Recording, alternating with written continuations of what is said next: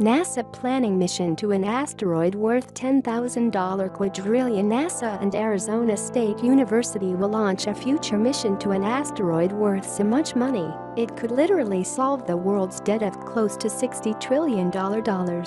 Josh King has the story NASA is sending a spacecraft to a giant metal asteroid that may hold the secret to how our solar system was formed. The fact-finding mission led by Arizona State University researchers is focused on the ancient, giant metal asteroid 16 Psyche. NASA wants to know whether the asteroid, thought to be made of iron and nickel, could be part of what was an earlier planet perhaps as large as Mars.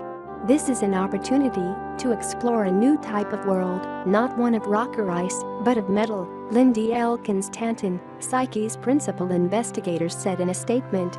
16 Psyche is the only known object of its kind in the solar system, and this is the only way humans will ever visit a core. We learn about inner space by visiting outer space.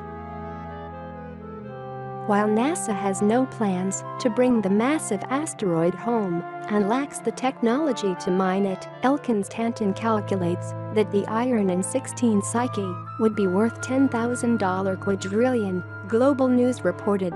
That's right, $10,000 quadrillion, as in 15 more zeros. Scientists say the asteroid, named 16 Psyche, may have lost its outer core through a series of collisions.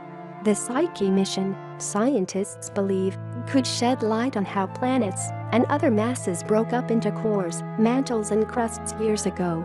A look back at the year in space Psyche launches in October 2023 and will arrive at the asteroid in 2030.